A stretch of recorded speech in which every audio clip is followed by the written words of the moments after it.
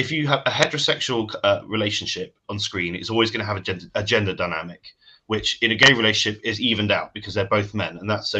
In terms of the gender politics at play, that gives you a unique perspective where you know there's not there's uh, also the fact that these two people can play on a sports team together. I mean, I can't really think of many sports that you know have the intensity of rugby that you have that are, are mixed gender.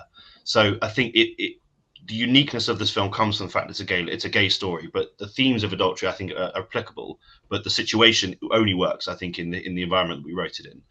And I think uh, it would be a very different story if you told it in a heteronormative kind of environment because you're exploring many different themes. I think, and you, you know the you know, like I said, like gender politics essentially are going to be there. You know, the differences between men and women are going to be there to, to be discussed and to be explored.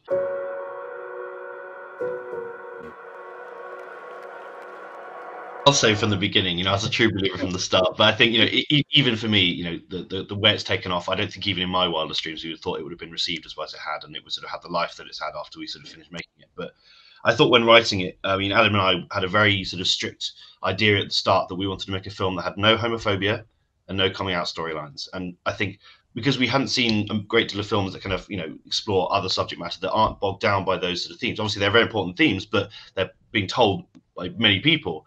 But uh, to write something about the other stuff and to not have that, you know, weighing the story down was quite exciting. And I think from that point, I thought I think we're on something interesting here with just that alone.